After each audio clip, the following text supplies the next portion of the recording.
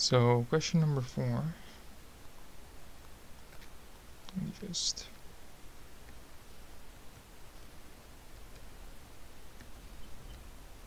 just give me a second over here. Okay, so question number four.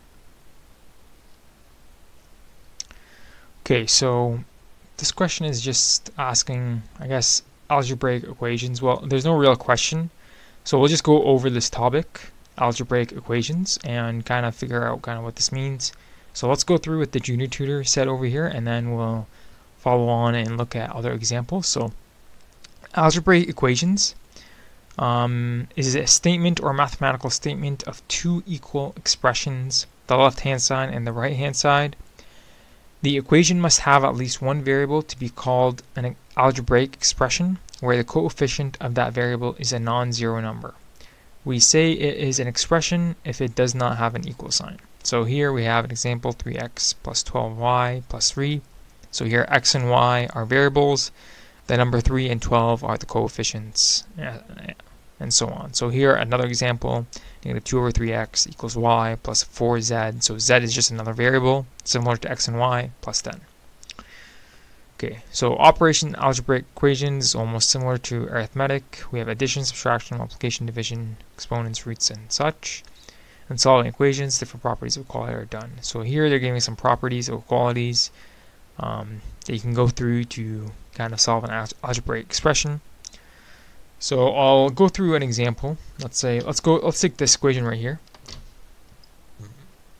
Excuse me. So if we had 3x equals 12y plus 3.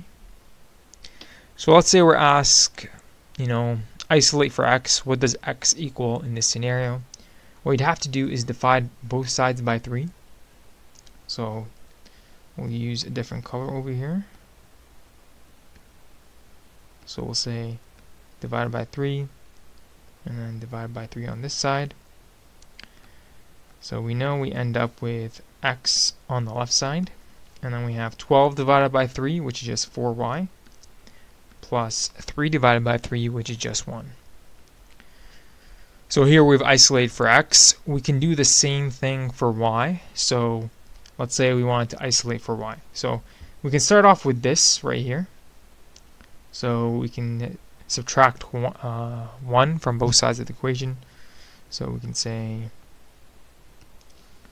let's say if we did minus 1 and then minus 1, we'd end up with the following. We'd have x minus 1 on the left side equals 4y.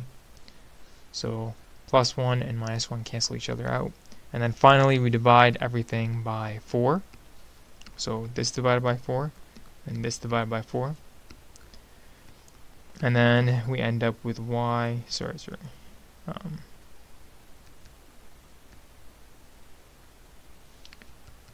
so we end up with x so, uh, 1 over 4x minus 1 over 4 equals y. So here we isolated for y to kind of find that value.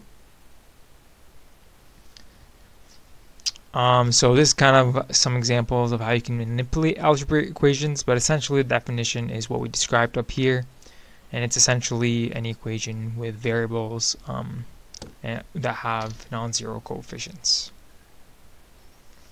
So this is a correct explanation, so correct answer and explanation. Great job and we'll mark this as correct and we'll move on to the next question.